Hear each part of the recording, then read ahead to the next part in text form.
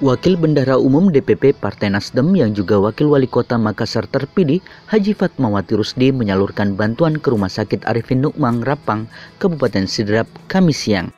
Penyerahan bantuan dari Hajah Fatmawati Rusdi ini dilakukan Ketua dan anggota fraksi Nasdem DPRD Sidrap kepada pihak Rumah Sakit Arifin Nukmang.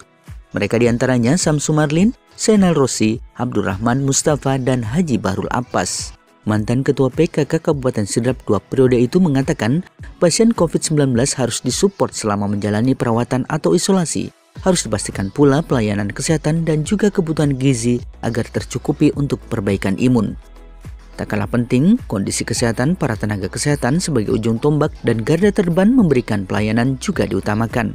Istri Ketua DPW Nasdem Sulsel Rusdi Mase itu juga mengungkapkan sejak adanya tenaga kesehatan yang terpapar COVID-19 di Sidrap, Partai Nasdem langsung turun tangan. Itu dilakukan sebagai bentuk wujud kepedulian.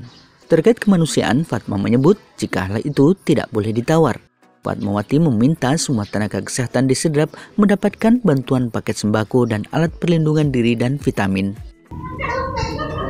Terima kasih pada Bapak Rusdi Mase dan Ibu Fatmawati yang telah memperhatikan teman-teman kami yang berjuang untuk menanggulangi wabah COVID di Kabupaten Sidrap.